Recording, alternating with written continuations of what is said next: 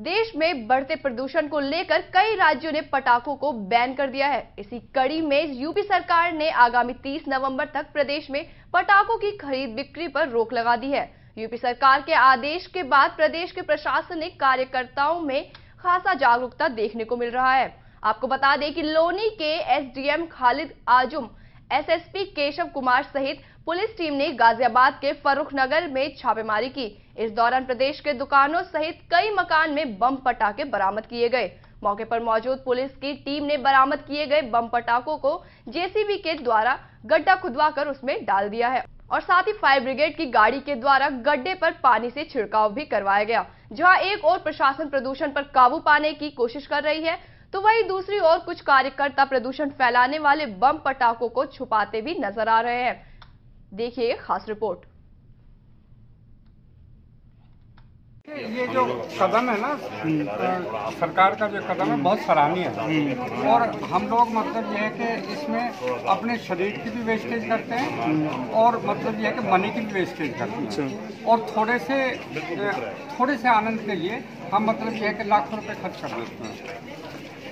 अगर थोड़ी देर के लिए किसी गरीब की शादी होती है ना तो वह वहाँ हम पाँच सौ रुपये नहीं दे सकते। लेकिन इसमें मतलब यह है कि हम पचास हज़ार खराब कर देते हैं। तो आप एनजीटी के इस आदेश का समर्थन करते हैं? हम्म? तो प्रशासन जो कार्रवाई कर रहा है वो ठीक है? बहुत अच्छी है सराहनीय है। प्रशासन द्वारा पटाखों के लिए इसको लेकर कार्रवाई की जा रही है पुलिस प्रशासन द्वारा। तो उसके लिए क्या कहेंगे आप उसको लेकर? मैं इससे बहुत सहमत हूँ साहब बहुत अच्छा हो रहा है जनता के लिए।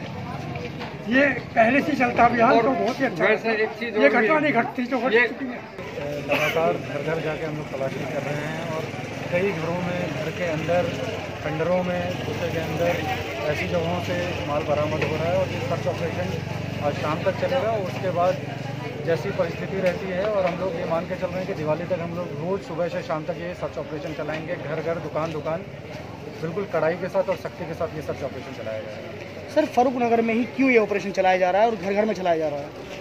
फरूख नगर काफ़ी समय से इस चीज़ के लिए फ़ेमस रहा है, लेकिन पिछले कुछ समय से लगातार हम लोग सख्त से सख्त कार्रवाई कर रहे हैं, जिसमें अवैध फैक्ट्रियों को तुड़वाने से लेके बड़े बड़े गोदामों से माल पकड़वाने से लेके, जिसकी वजह से यहाँ पे कमर टूट चुकी है लोगों की।